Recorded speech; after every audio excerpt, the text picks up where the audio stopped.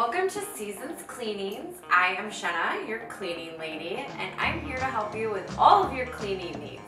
So if you can see behind me, my kitchen is a little bit of a mess right now. And I did that for you so that I can show you how I do a quick clean in my kitchen. So this isn't a super deep clean, so we're gonna be missing a lot of areas. But this is a good enough clean so that I can enjoy my weekend. Now the only time that I don't do a quick clean before the weekend is if that weekend I have set to do some deep cleaning or have some projects to do and then I save the quick clean for like Sunday evening. And then that way I can start fresh on a beautiful week with a semi-clean house that is good enough for me and it should be good enough for you too because sometimes good enough is good enough. I've said that enough.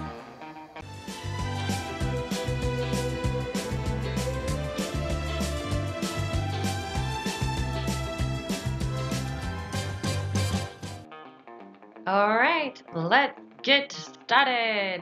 I like to roll my sleeves up, put my hair up, and voila, let's go. We are going to shut all the cabinets and drawers. Why they're open, do not ask me, childhood habit.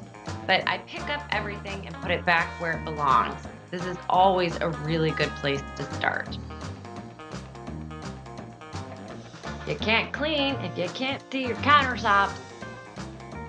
I like to put all the dishes in the sink and after I'm finished picking everything up, I go to the dishes next. I will be honest, usually my house is a lot more messier than this. Or at least there's a lot more dishes in the sink.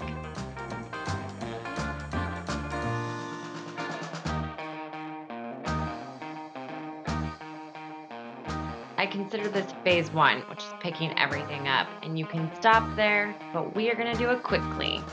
So go ahead and get all of your dishes done. Sometimes I will do this the morning before I'm gonna clean in the afternoon or the night before I'm gonna clean the next morning just to kind of break the task in half. Or better yet, I'll have my son do the dishes. Next up, we are going to clean all the cabinets. I'm going to do the faucet real quick, but you do want to make sure on a faucet you use the right side of your sponge and use the non-abrasive side. So I'm just kind of starting on the kitchen sink, but I do hit the wood because I see little spots and I had to hit it. But you don't want to leave moisture ever on wood. So I'm going to go ahead and just wipe that up real quick. But normally we'll do all of the scrubbing in one motion. So here I am using Dawn dish soap and hot water to clean off all of the countertops and I will also hit the table as well. And I just go through and keep scrubbing until all of the little particles that have stuck on are loosened up and you can get all the stains off of there. When I use the table, I make sure I use the non-abrasive side so I don't scratch my wood table. You do want to pay attention. It is a non-scratch sponge, but in my experience, that doesn't mean it is completely non-scratch. So I do use the soft side when doing the woodwork. So after I've scrubbed the countertops, scrubbed the table, wipe the table, I wipe all of the countertops and I lift up any of the decorations or appliances to get underneath and remove any crumbs that might be hiding underneath them. So just to go over that again, I scrub the countertops, scrub the table, wipe the table. You don't want moisture sitting on your wood table. And then I move to the dirtier spot, which would be my stove top. But before I get to the stove top, I go ahead and finish wiping down all of my cabinets and I hit the light switch because it sees a lot of action in the kitchen. So then I kind of add just a little bit of water and I hit any of the cabinets that are mainly used for cooking that see a lot of fingerprints. So next I'm going to clean the stovetop glass part and I use a steel wool pad to do that. I use a sponge to squeegee off that. Then I take my towel that's a little damp from cleaning all the countertops and give a wipe to the top part of the stove, working my way all the way down. Usually after hitting appliances, I will use a stainless steel cleaner on them, but it's a quick clean, so I'm just wiping. This is actually very similar to how I clean after dinner.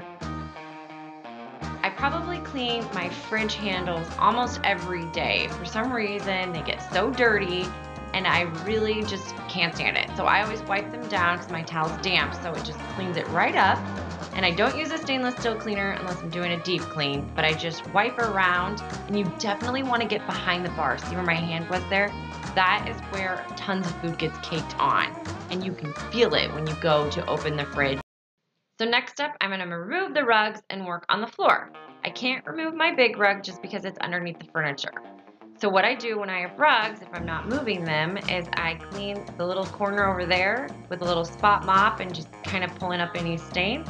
Then I grab my vacuum and I use the hose to kind of vacuum around the areas that it can't get just flat. So I kind of do around the edges and underneath the cabinets. They stick out a little bit. Then I go ahead and vacuum the rug. Vacuuming the rug is always my favorite part. Just I love vacuuming, pulls everything up and it just ties the cleanliness together. Now I do use a broom sometimes and I used to have a little Shark vacuum that I would run across the floor for quick cleans or in between, but it broke. So I am using my vacuum and broom. And I love a good broom sweep because I feel like I'm really good at maneuvering it and getting it into small spaces. But if you have a vacuum, you can just go ahead and vacuum the whole entire floor. Here, I'm just showing you both ways. So I could vacuum all my floor, but my vacuum's so big, it just doesn't get into those small areas like the broom does. I do like to move everything around and move the chairs out a little bit to get really underneath them. Kind of depends on my ambition for a clean house that week. So after gathering it all up, and I use either the vacuum hose or dustpan, kind of depends on what I feel like that day, but usually a vacuum hose is my favorite way. And then I'll go and give the floor a quick little mop.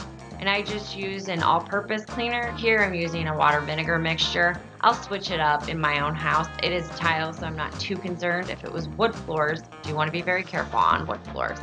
But I just go around and give it a quick mop. I wouldn't say this is my professional because if it was one of my clients, I would have moved all of those chairs out to mop underneath. But I just hit it one by one using my mop that is broken. So I can't extend it out and have a long one, which is not good for my back, but it's what I have to work with right now. And voila, it is nice and clean, or at least good enough for today. So next I go to vacuum all of my rugs and I just give them a quick vacuum. You can also shake them out as well, your preference. And then once they're finished, you put your rugs back after the floor is dry, of course. And this is definitely my favorite part because this means I am all done. And when it rains outside or it snows outside, I have a great trick for you. That is, you grab a towel and you lay it down so everybody can wipe their shoes and stop some of the tracking. My kitchen floor is the worst, but it is what it is. Okay, Jack, you no make mess on floor. Alright. Thank you so much for watching. I hope this helped. I hope it either motivated you to clean or gave you just what you needed to hear that good enough is good enough so that you maybe just do a quick pickup and hit a few things and let it go. Whatever you need to do in order to make your home a little bit relaxing and inviting so you can enjoy the weekend and let your hair down and just do you. So I am super excited because now I get to go relax and edit a video. So we will see you next time on Seasons Cleanings. And if you can't wait that long, don't worry. You can check us out on Instagram. We're also on Facebook where we have a Facebook group called Get Your Clean On. And if you are really into cleaning and you want to see some cleaning videos, check out our TikTok. We're there too. So thank you so much and I hope you have a wonderful weekend because I'm about to.